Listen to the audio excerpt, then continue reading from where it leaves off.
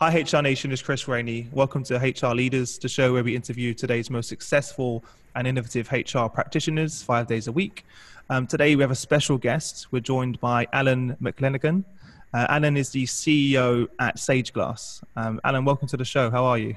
Hi, Chris. I'm doing really well today. Thank you. How are you? I'm really good. I'm really good. I'm excited to be speaking to you. Uh, we've, we've, spoken some time now, so really happy to have you on the show. Um, Alan, fill in the gaps. Tell our listeners a little bit about yourself and yeah. your journey to, to where we are today? Okay, well, well, at the moment, at this stage in my life, I'm the CEO of Sage Glass, which is an innovative part of Saint-Gobain's glass division. And very simply, this product is something that, uh, with a switch on a wall or an app or a sensory system, your glass can be tinted so that you don't need blinds and shades. So I'm CEO of this, what I consider the most innovative development in the glass industry, you know, for quite some time. Um, my path is, you know, originally I was a physicist. I, I, studied physics and chemistry at university, did a PhD in materials, started out in research for a chemical company that sadly no longer exists called ICI. It was huge at the time. And um, I thought as I left college I would always be in science and research in some way. But throughout my career, others saw something in me, uh, moved me into manufacturing. I got a bit of a bug for seeing how things get made. You know, I got excited about seeing products in reality rather than just concepts in a lab. And I then spent a lot of my time in manufacturing, built some plants with DuPont and with ICI, um, and then joined Saint-Gobain about 18 or 19 years ago now wow. to head up um, the UK glass division. Uh, and I remember saying to my, uh, what, who would become my, my manager, I said, well, I don't know why you're talking to me. I don't know anything about glass. And he said, well, fortunately, you know, we're nearly 350 years old. We know enough about glass. What we need to know is about running factories in the UK at the time. So I joined Saint-Gobain and uh, never, never necessarily thinking I'd still be here, you know, almost 20 years on. But it's offered me so many great challenges, so many great opportunities, um, so many countries to work in, amazing cultures to work with. And, uh, and I've been in a few divisions of the company, but always focused on, on glass in one way, shape, or form. And then we, uh, we've been working on this technology for Sage Glass for over 25 years. And so had the company called Sage, very small startup in the United States. And about uh, seven years ago, we acquired them, combined our two intellectual property portfolios to create this company that now had a very robust, uh, durable product that could go out onto buildings, um, as opposed to something which was perhaps very cool, but uh, you know couldn't survive for ten or twenty years. Yeah. Um, so here I am, you know, a tortuous path uh, to become the to be in a, a, very privileged position to lead Sage Glass uh, and bring this amazing product to a wider audience amazing. I think the leap in innovation that the glass industry's seen, as you said, is is for so long. As you said, it's been the same. There's no been no real innovations, right? And in in the, in the past few years, especially with your own organisation, that's taken a giant leap forward. So it must be very exciting times. I think uh, most people don't see the innovations that have been brought in the glass industry, you know, because the glass is still glass; it doesn't do anything. You know, But a lot of work that's been done um, on, on coatings is, is invisible, quite frankly. Yeah. Know, glass which doesn't doesn't feel as cold anymore, doesn't let so much heat out. You know, maybe it's low maintenance or self cleaning. You know, we don't realise why it's anti-reflective. All that work's been done, but people just look at a window and think it looks the same. So yeah. You don't think anything's happening. But when it changes, you know, when you see it uh, with the control from an app that it's getting darker and you're controlling it, then they think, wow. You know, yeah. the, the, first reaction we always get when you show, show someone the sample is wow. It, you know, it's a universal word that comes out of their mouth, mainly followed by how much is it? Well, yeah, always. another question entirely. But um, it, yeah. it, does it does kind of push the glass industry into an innovative sector. brings it brings new challenges because you know we have to move uh, a lot faster with our developments and our changes um, we, we have to move at the speed perhaps of an electronics manufacturer now rather than the speed of a glass manufacturer. And of course, now the glass is one thing with its technology, but we have to advance with controls technologies yeah, as well. IoT comes into play yeah. now, and, you, and that's the way you got to keep up, right? Making Absolutely. sure that you're, you're, compatible with all of the new. I, I can't wait to have it in my house, you know, with my home, with my system, you know, connected with everything in my my my connected homes are the future. Yes. I mean, you guys are going to play a big part in that. So I think dynamic glass is going to play a big part. I think one of the challenges for me is to make sure that Sage just doesn't have footnote in history as being the first. No. I want to be the best and the biggest and the fastest growing and the most innovative. you know, being the first is quickly forgotten, um, yeah. and we can't uh, we can't stop there. Perfect. Well, um, we can talk about that all day. So let's move on to. otherwise, we're going to get too carried away. So one of the reasons I reached out to you first, as you know, is I was really excited to get your perspective on on HR. As you know, our, our audience are senior HR leaders from from from global brands, and it was really important to get a CEO perspective. So just to kick things off, what do you look for from your from your, from your own HR function as a CEO? Yeah. Well, first of all, it's a great honour. I mean, Sage Glass is a very small company, um, albeit part of a very large company like Saint-Gobain. So it's an honour to speak to, to, you know you and your team and the, the audience that you're normally communicating with. Um, I don't really think of myself as a CEO. I think the day I wake up and think I'm a CEO is the day I should no longer be a CEO. And maybe there's a little bit of you know, philosophy and mindset in there. I'm, I'm not a fan of people who believe uh, uh, that their own voice is more important than others. So I'll, I'll, state that from, from the outset. My number two on my senior leadership team is the vice president of HR. Um, and it's not an accident that I've selected him. Uh, culturally, we're a company which is breaking a paradigm and changing the way people think about glass, what it can do. You know, normally people just don't think about glass. Even when you buy something which is very emotive, like a car or a home, no one's stopping to say, I wonder what glass type is in the vehicle or in my building. no. Um, so we're changing something. We're making it something more emotional. We're connecting you to the glass and you're going to interact with it now. You're going to you know, use your app on your phone or your sensory system, or as you say, the, your, your connected home um, network um, to make that glass function for you. So we, are going to grow at such rapid rates, and I can talk about that later on, that HR is an important function in bringing the right people in, setting the right tone, balancing our diversity. Um, you know, I'm maybe launching too fast, but one of the things I'm very proud of is when I took over at Sage, we're a tech company, and we were about 7% female. We are now nearly 30% female five years later. And that's not because we've gone out and said, oh, let's hire lots of, of, of, women. It's because we've gone out and said, let's make sure we get the best people for the job and let's make sure this is an industry and a company and a place to work or a series of places to work where women say, you know, I like the idea of working there. I, I think the values are there, the, the principles are there, um, and we've been able to do it that way. So when I come back to, you know, why is HR so important? We knew that we were going to be growing at 200 to 400% per annum on our sales volumes.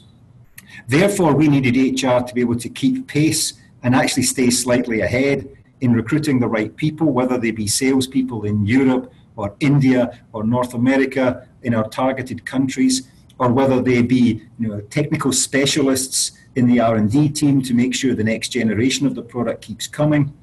HR was going to be critical and we had a culture change to create as well. Um, Sage was a very um, R&D centric environment.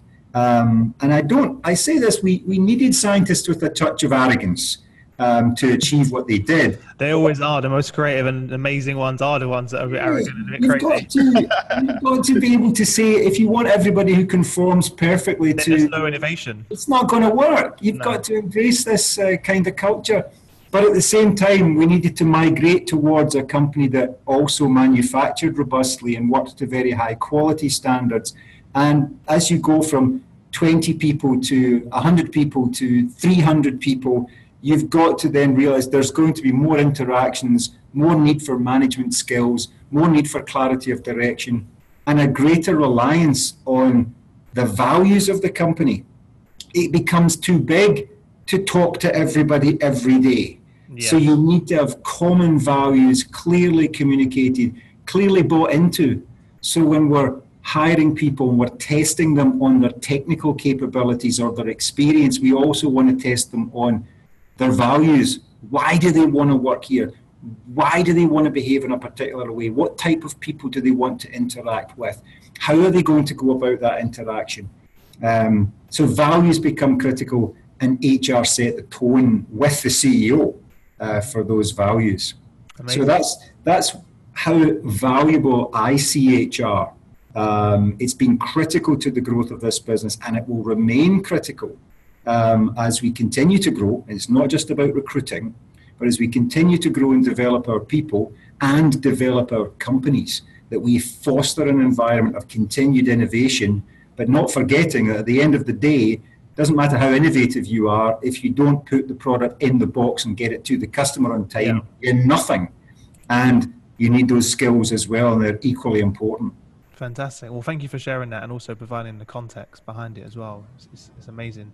So, for you, when you were choosing your HR leader or recruiting the, the leadership team, what, what is it that you looked for uh, from your HR um, vice president as a leader? Yeah. You know, um, actually, it wasn't until you asked me this question or you told me you would be asking this. I really thought, what was my process? You know, I'm not going to lie to you and say, oh, I had this amazing process and I outlined exactly what no I was. One does. No one does. Um, so it actually made me stop and think about it. And, you know, I, I had certainly gone through here's the experiences I'd like them to have had here's the way of thinking I'd like them to have, here's the way they prepare for the interviews and the series of interviews with our people. Um, you know, we, we, uh, we hired our current HR leader internally, but we had looked externally as well. Um, so we, we know we did the basics of take the interview videos so that we could really see a wide cross section of people.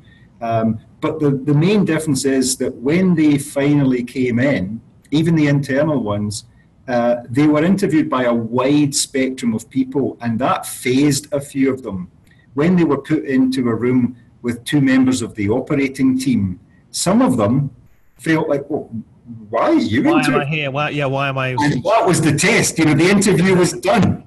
yeah. If you didn't think it made any sense to have people from a wide cross section of our business, you know, test you out, you are not the right person for this company. Yeah, it's a great. So, that's a great. Did you do that? Was that was that was that a conscious decision you made beforehand? Then. Oh yeah, that yeah, part was definitely. Was part. We, we, try for every role. We try and get a wide cross section of people uh, to meet to meet you, and sometimes it, will face people the other way. You know, they're they're maybe hiring for a supervisor's job, and they find that, that they're meeting the CEO and it's like, oh my God, you know, and, wait a second, you know, when I, when I, need a restroom break, I'm going to go to the same restroom as you. I'm not any different. Uh, don't read too much into this, but your role's important in the company. And uh, this is one that, um, you know, I've been asked to, to participate in. But you know, when you asked me the question, three words kept coming out to me, and it made me realize that's what I'm looking for, both in hiring the person and in how they behave. Delivering results it's the same in every senior leader. You've got to deliver through others. Um, so a, a, track record of delivery and a constant reference on their part to I'm here to deliver. You know, my simple analogy of there's no point in being innovative if we don't put it in a box and get it to a customer. We need to deliver. Um, and HR is the same. If we're going to, you know, do management training seminars uh, for a certain group of people, they need to be executed. They need to be delivered. Um, simple things like, you know, if we're going to pay people every two weeks, need to deliver on it. So people are focused on delivering and, and holding themselves accountable and holding their team accountable.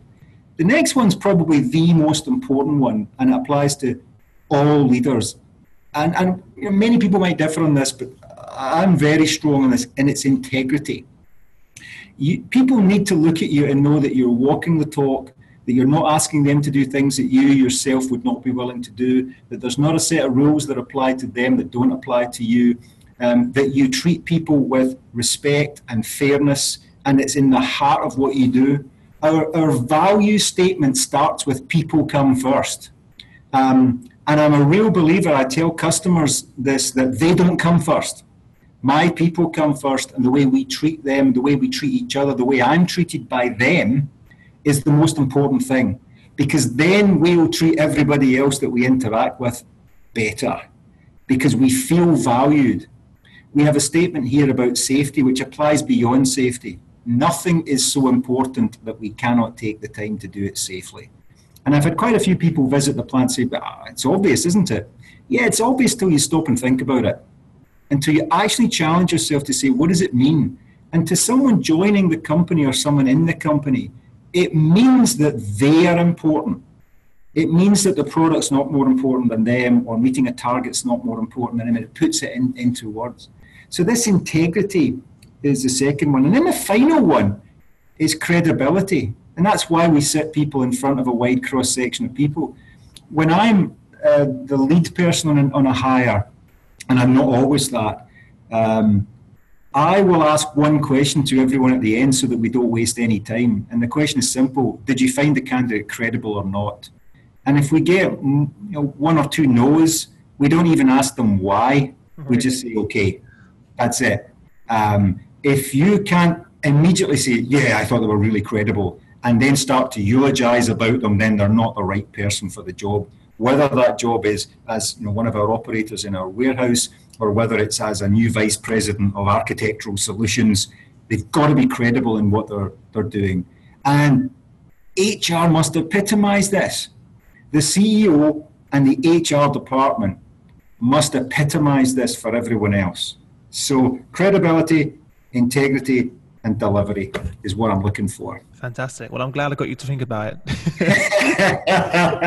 in a bit more detail. And you didn't even charge me anything for thinking about it. Amazing. Or you didn't charge me for giving me the answers. oh, the bill is in the post. Oh no, I haven't given you my address yet, so we're all right.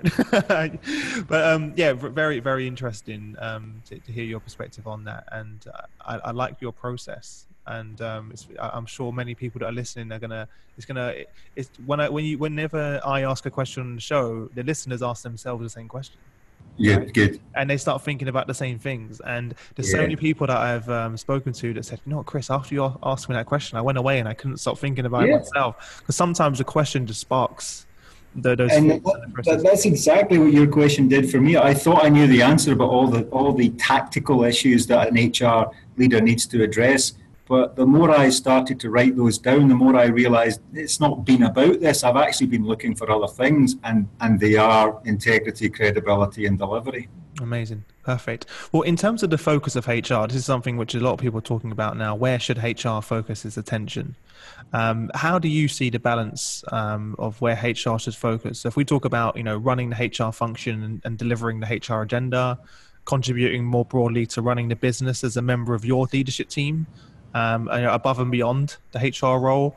Um, yeah. being your personal confidant um, in, in, in some cases, and then also facilitating the top leadership team. Where do you see the balance of priority there?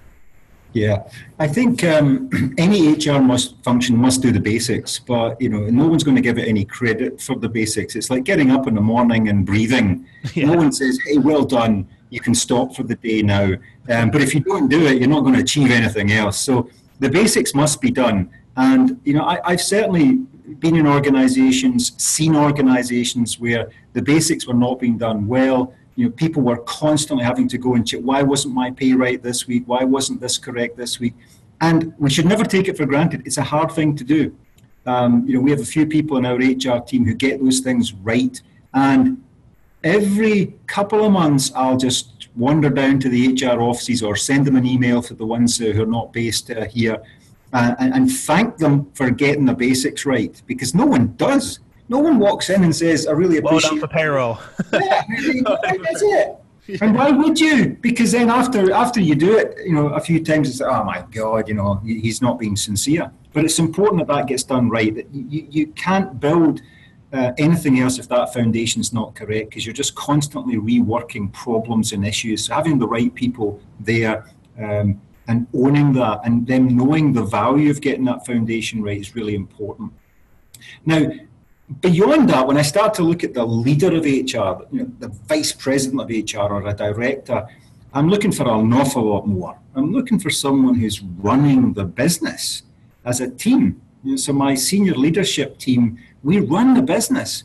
Um, so if they came in and reported on 100% of people got paid correctly this month, that's not a topic for the team. yeah. Uh, it sadly becomes a topic if they're not paid correctly. But um, so the partnership, when I mentioned at the outset, my number two is the HR vice president, and he's the HR vice president because of his credibility and his integrity and his skill set, and he he is more than just HR. Every leader of a department in this company uh, needs to be more than the leader of that department. They are the leaders of the company, and they must be seen that way. So when I come back to integrity, um, you know, I challenge my people and I challenge myself that we are seen with integrity, that our behaviour uh, supports that. And everybody's definition of integrity can be different. I'm not saying we've got it right. Um, sometimes, if we think we've treated two people very fairly, um, those two individuals may not think we've treated them very fairly, but it, but we go through a process uh, of, of attempting to. Um, so they must be leaders, and they must be willing to step out beyond HR and contribute to other business-related problems. You know, so if we are if we are entering a new country, for example, and we're putting together the strategy for how we put a sales force in place in that country, how we put technical support in place, how we import uh, the product into the country, what's the long term strategy for maybe producing the product in that country, then obviously I want HR contributing incredibly. I can't have them sitting in the room saying, uh, someone's just waving at me. Uh, I can't have them just sitting at the room saying, well, whenever you're ready to recruit people, you know, give us a shout. yes. That's useless. Yeah. Um, so it's very important at the leadership level that they're business partners. Um, and you mentioned the word confidant I wouldn't say that I necessarily select HR as a function as you know that's who I, who will be my confidant. But in this structure, and when he sees this, uh, no doubt he'll, his his head will swell a little bit. Um, I go to my head of HR as as one of the people that I say, look, I'm a bit I'm a bit confused on this, or I don't understand this, or I'm having to make a decision here and I'm and I'm not convinced. Um, and they they will give me a perspective because he as an individual has a lot of experience uh, in our business, in other businesses, in other roles. He's not a HR professional as such, although he is a very professional HR person. I'm with you. he's come through uh, an, another path. So that's what I want. You know, I want to be able to to have that you know, discussion. I, I want to be able to you know have the closed door discussion where I say, I, am absolutely furious that this is happening. well, what are we? And, and he'll calm me down, and we'll, we'll, we'll make a plan, and um, and that I can have that uh, that little vent every now and then because it's it, it's completely inappropriate for the CEO to sit in front of the entire organisation and have that vent. Um, that just scares everybody. Doesn't doesn't but, do a lot for your culture. That yeah, it doesn't, does it? But equally, I don't want people thinking that you know CEOs are some superhuman individual. True, that's true too. I'm glad you said that. You know that's just crazy, and and and I think any any leader or CEO who wants their people to think that is is is on a fool's errand, quite frankly. Um, and I do think in in more so in today's um, uh, culture within the workplace, and, and what maybe perhaps I hate sweeping generalizations about generations, but you know, let's say the, the millennials uh, coming through. They, they, they, they don't mind and, in fact, perhaps want to see uh, a certain element of humbleness in their leaders uh, and a certain element of uncertainty. Um, but they want it to translate into eliminating that uncertainty by gathering information and, and making a decision based on that rather than just you know, sitting in isolation, not asking for, for input, help, or support or perspectives, and then perhaps making a wrong decision, but thinking, well, I'm the leader, I make the decisions. Yeah, you have to be authentic, right? Uh, sorry, Chris. You have to be authentic in this day and age. Yeah, you, you know, and, and and geez, how do you how do you train anybody to be authentic? You either are or you aren't. You are. You are. You're either trying to portray something else that you're not, or everyone's everyone's human, right? Because I remember early in my career, it was like, oh my god, that's the CEO. you know, when you was a when you was a salesperson and the CEO walked through the floor, the the culture from now to what it was, you know, 15, 10 years ago when I was working in a small office in London, you know, when the CEO walked in the room, it was like, yeah. whereas now it's like, oh, the CEO's in the room, they're approachable, they can have conversations, you know, how are you? And it's just like you're just part, everyone's on the same level, right? We're all doing different roles, we all have our part to play, Absolutely. But there's, but there's no, you know, there's no I'm the CEO, you're the employee, do what I say. Um, yeah. people, people, definitely don't re- react well to that, and unfortunately, there are, there are still companies that operate that way. yeah, I'm sure there are, and maybe there are some environments where it, where it works. I haven't found one in my experience. You know, earlier on when I was waving, it was one of the supervisors walking past my office, and they waved to me. Um, I think that's great. You know, I yeah. think. uh, if they if they walked past, put their head down, and didn't want to make eye contact with me, I'd be thinking, "Oh my god, yeah, you got a problem then. something wrong. Yeah. Um, I, am going to share something with you. I've actually not shared with too many people. Um, you know, my, my wife is quite ill at the moment, and I felt an obligation to tell my entire team a little bit about it, even though my own personal feeling was, you know, not to share anything. And why did I do that? Because I didn't want anyone, you know, perhaps seeing me on an up or down moment thinking that it related to the company or related to them, that they maybe had enough information to think, you know, Alan's going through something with his wife at the moment and her health, and that's more likely why he's having a, a bad moment or a bad day rather than he's mad at me or you know they you know so I I think it, it, it it's an example of the kind of company we want to be that um, we we take into account each other's issues that's going on in our lives and, and you know, we're more effective as a result. Um, people give a lot more. I give a lot more uh, to our company when you know that that group is is kind of a with you without being in your face about it. Um, people are willing to give more, and yes, there'll always be the one or two percent or whatever who will abuse it and find loopholes in it. But let's not make our policies and our behaviours um, and our culture to match the one percent that screw the system. Let's yeah. let's let's create it for the 99% who really do come in here and care. Well, th- well thank you for sharing that. I hope, I hope your, your wife gets well soon. Thank you. Appreciate you sharing that. Um, one of the things I want to ask you as well is is HR has always had this um, this uh, I don't say grey area of measurement. You know, how do you measure the success of HR? In a in a in a business. And it's something which is getting a lot easier now because we know with the with the uh, now we're introducing a lot of analytics in, into HR, which is great. So now we are getting to a point where we can measure performance. Yeah. Yeah. Uh, but in the past, it certainly wasn't the case. And I was just wondering, how do you measure the success of your of your HR um, director or your, your vice president of HR and the function yeah. itself? What does success yeah. like? I mean, like each of the major departments, there are, there are sort of major leading KPIs that, that give you an indicator that the department's going in the right direction, therefore the company's going in the right direction. And then there are more granular ones that come down, which are the real test of, of you know, did it do its job? You know, when we were hiring something, how many days did it take to, to, to hire? How many candidates did we get to select from? How many times did we have an open position? Did we have uh, diversity candidates available to us? Uh, within the time scale. Um, so those are those are ways in which to check it. You know, there's the accuracy of um, the, the, payrolls and bonus calculations and payments. There's clarity of communication, which we check with um, an, an, an annual um, survey uh, and it's it's annual, but there's a mini one one year and a maxi one every two years. The mini one is just a, a, check: Are we making progress? These are the major actions that HR decided to work on. Are we making progress on those?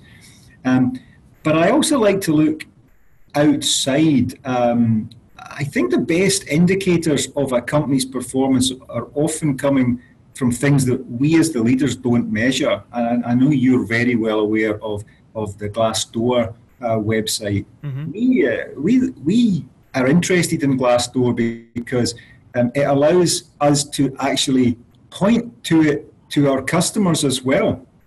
Um, a customer recently, uh, and quite often, will ask me, "What's the difference between you and um, competitor X or competitor Y?" And actually, now one of the first things I do is say, "Go to Glassdoor," um, and and do you want to work with a company whose team feels the way my team feel about us, and therefore, by extension, about you, our customer, mm-hmm. or do you want to work for a company whose you know, team members perhaps don't think the company is so great? Yeah. Um, so I don't talk at CEO level when I'm asked that. I don't talk about the technical differences in the product or our ability to service the product or our warranties or anything that they might think I'm ready to talk about. I say, you know, you want to go and have a look at what the people think. Yeah, don't um, take my word for it. yeah. Yeah. so um, one of the ways I do therefore measure HR is not the Glassdoor rating itself, but how many people are interacting with Glassdoor. You know, how many of our uh, people that were hiring and recruiting refer to Glassdoor um, and that they used it. How many of our own team members um, or former team members actually post on Glassdoor? How many of my leaders, you know, actually post on Glassdoor as as um, team members rather than you know the leader? I, I've posted a, a, review of my own company on Glassdoor. Um, and, and, I knew the question that says, you know, uh, how would you rate the CEO? Oh, oh, yeah. What did you do for that? Because that's one of the questions, right? five out of five. He's an amazing CEO. Um, that's amazing. And but, it's, it's um, also good for you as well because you have your own rating, don't you?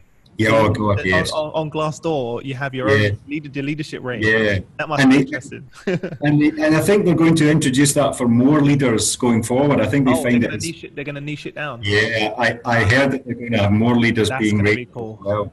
But it is a good thing. I mean, again, it's great. Um, I, I, you can't you can't rig it, right? Or some people yeah, try to rig it, but I don't know if you can rig it or not, but I'm I, I'm not interested in in even contemplating. I just I, I I'd be frustrated it's if I learned that, you know yeah. we were rigging it in some way because um, it, it's a great tool. And and again, credit to my HR guy. He personally responds to every post on Glassdoor. Wow. Within a few days. And, and, and they might be negative, you know, it might be saying, oh, this problem never gets resolved at Sage because, you know, we have problems. It's the feedback you uh, need, though, right? Yeah. And he will go on and say, you know, right. have you exhausted? yeah. So um, that, that's another way, the external measure. And then you've got these, you know, the, the results of internal surveying and so on. What's the morale like? What's our succession plan look like? That's one of the indicators I use for HR. So, you know, I've, we might be great at recruiting individual roles, but every year we look at the succession plan within the organization. And if I don't have two or three possible successors that are, that are capable of moving into other roles within a, a zero to three year timescale, HR's failing mm-hmm. because we're hiring people for existing jobs rather than their potential for the future.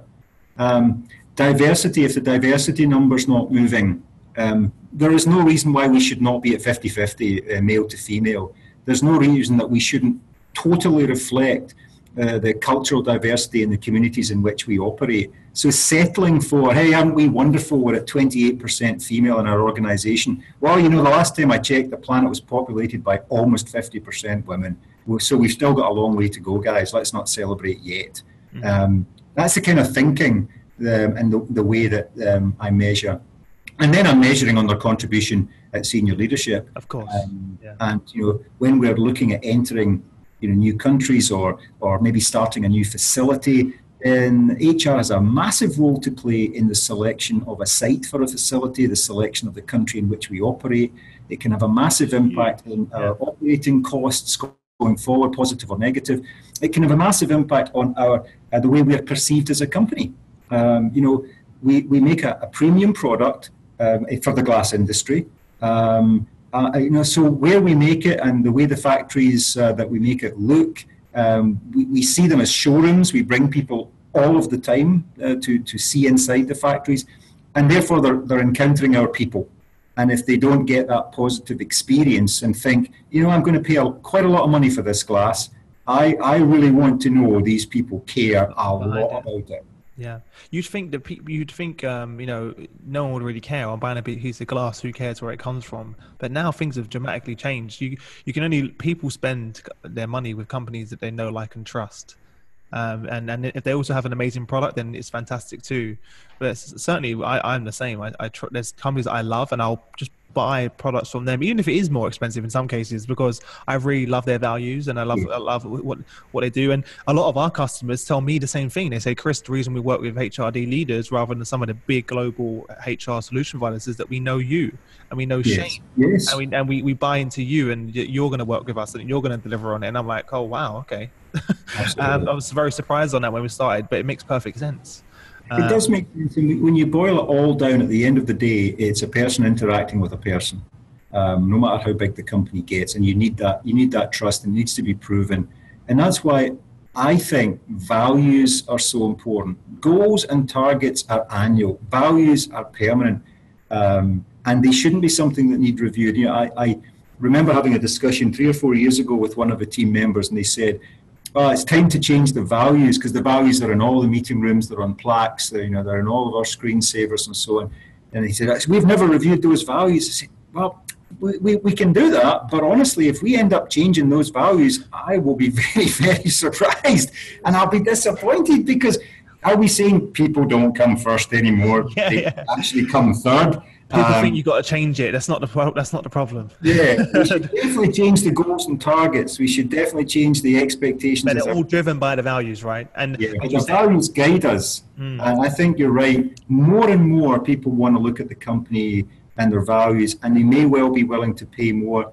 And as we said at the outset, you know, no one no one buys a car or buys a home based on what kind of glasses in their building. Uh, they never think about it. But yeah. maybe maybe they're about to.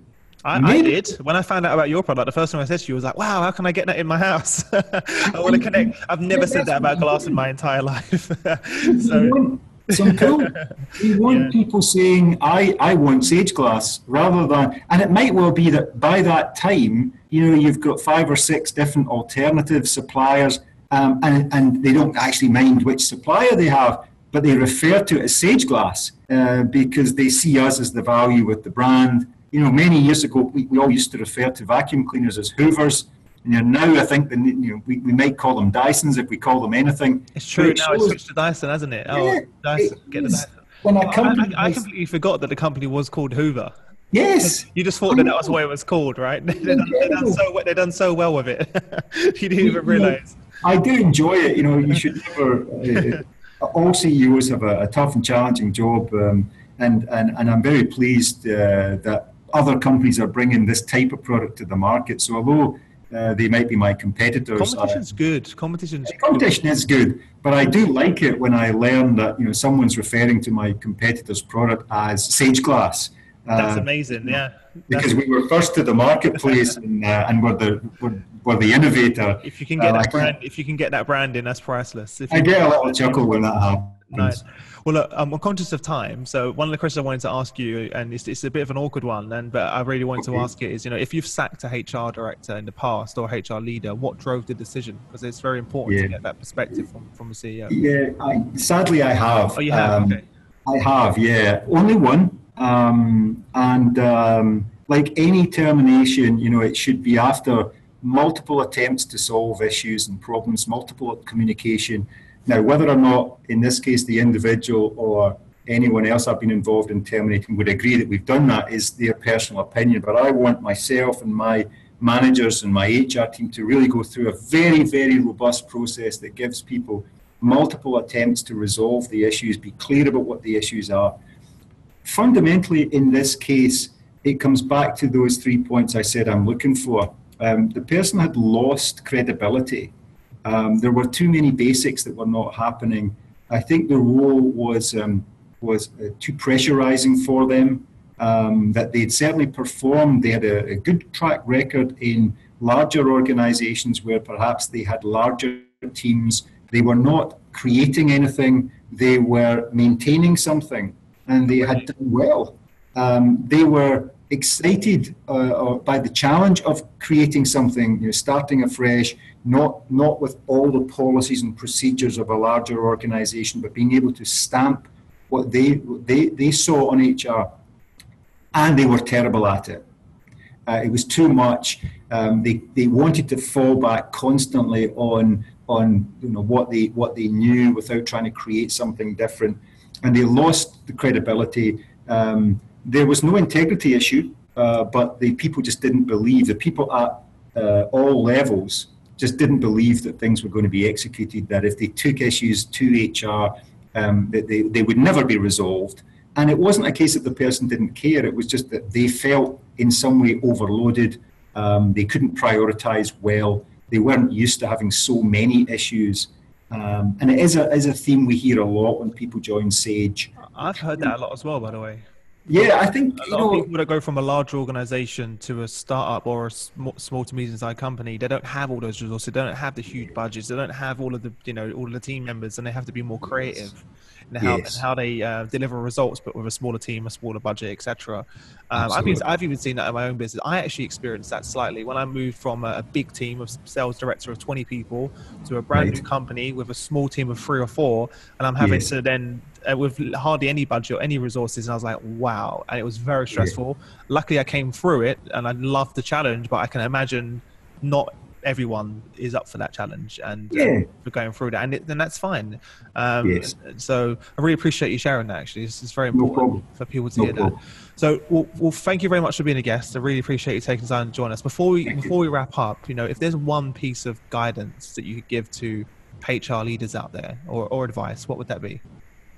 Um, you know, my, my normal uh, terrible Scottish humour answer on that is don't go into HR. You know, go, in, go, into another part of the business.